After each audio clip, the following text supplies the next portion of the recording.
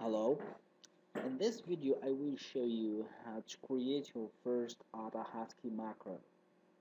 Okay. So I have this mac macro here. I will explain it line by line.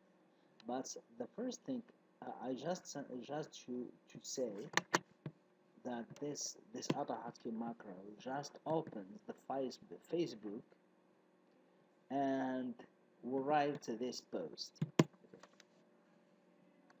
so let's run to see how this this uh, this macro works and then I will explain this codes here this instruction. Uh, let's run it double click on it. So it opens the Facebook. So this automatically okay, uh, so the Facebook opens and then I move the mouse and I write this script is written by AutoHotkey macro this is automatic. This is a bot okay?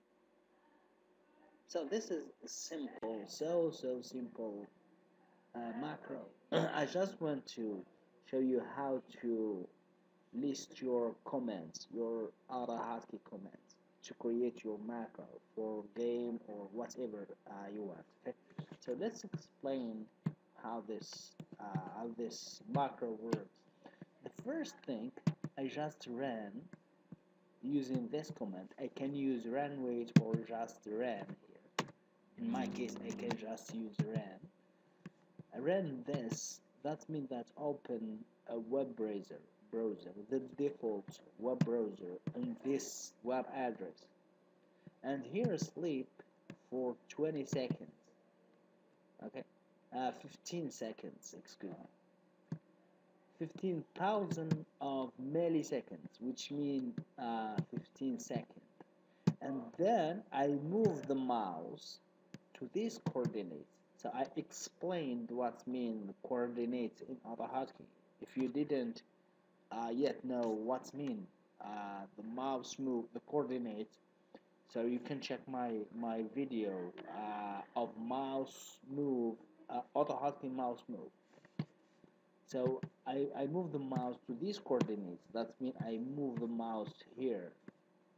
I move mouse here. Excuse me. Let's just erase that. So I move the mouse here in these coordinates here.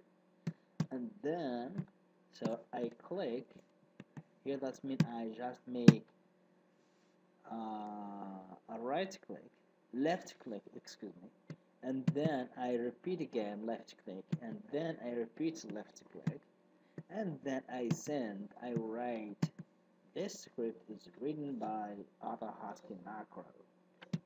Okay. so that's it. I hope that you find this video helpful for you and see you later